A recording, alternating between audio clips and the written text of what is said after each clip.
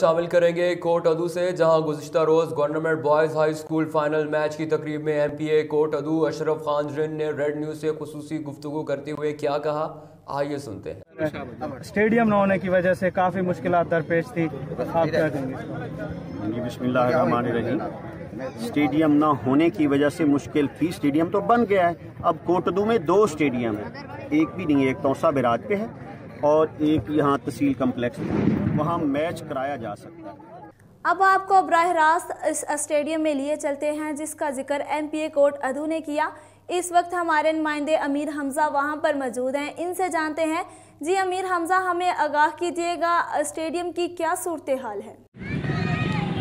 हाँ जी बिल्कुल मैं इस वक्त मौजूद हूँ कोट अद्दू के म्यूनसिपल स्टेडियम में जिसकी गुजशत रोज़ अशरफ खान रिन साहब ने गवर्नमेंट बॉयज़ हाई स्कूल में फ़ाइनल की तकरीब में रेड न्यूज़ से गुफ्तु करते हुए कहा था कि ऑलरेडी कोटद्दू शहर में दो स्टेडियम बन चुके हैं और उनमें जो है क्रिकेट का मैच भी खेला जा सकता है। मैं आपको इस वक्त स्टेडियम में मौजूद है, आपको इस स्टेडियम के मनाजिर दिखा सकता हूँ। ये वो मनाजिर अगर मेरा कैमरा मैन आपको दिखा सके कि इस मोहल्ला, यहाँ जो स्टेडियम की बैक साइड पे मोहल्ला है, उसमें पानी है, वो स्टेडियम के अंदर इस वक्त दाखिल हो रहा है और स्टेडियम का मेन गेट भी नहीं है, अगर मेरा कैमरा मैन आपको दिखा सके कि स्टेडियम का मेन गेट भी यहाँ पे नहीं है और पानी भी यहाँ पे मौजूद है, घास का एक तीला मौजूद नहीं है। एम पी अशरफ खान साहब ने जो गुज्त रोज़ कहा था कि दो स्टेडियम यहाँ पे कोटादू में मौजूद हैं और वहाँ पे मैच भी खेले जा सकते हैं। हम आपको ये मनाजिर दिखा रहे हैं।